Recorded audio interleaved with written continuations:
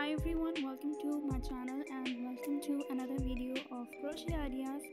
So today in this video I share beautiful crochet doll dress doll dresses ideas. In this video I share plastic doll with crochet dresses plus you will see crochet handmade doll with crochet dresses. You will see different embroidery on these dresses. Some are handmade thread embroidery, some are crochet flower embroidery then stitched to these dresses. Even flowers are also there on few dresses. I hope you enjoy this video and like all these dresses. So if you like to get more crochet ideas subscribe my channel and press the bell icon so you never miss any update from my channel. Thanks for watching